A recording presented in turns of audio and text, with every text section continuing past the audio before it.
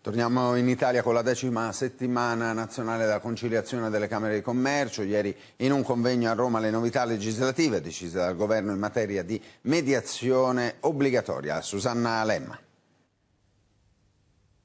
Le faccio causa, una frase che italiani e imprese ripetono spesso, tanto da rientrare tra i popoli più litigiosi. Ogni anno si contano infatti quattro nuovi casi giudiziari per mille abitanti rispetto ad una media OX del 2,5.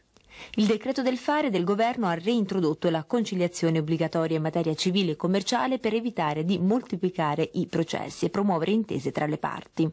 La giustizia italiana è oberata da un numero eccessivo di cause, abbiamo bisogno di farne circuitare almeno una parte fuori dal processo.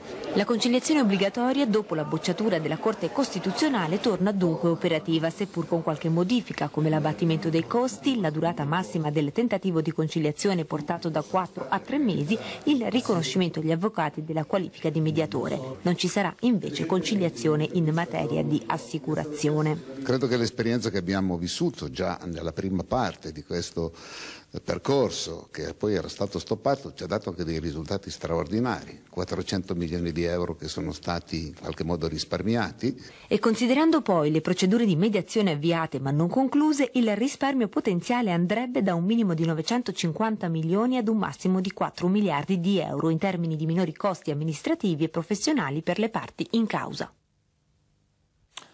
Eventi, sfilate e collezioni esclusive.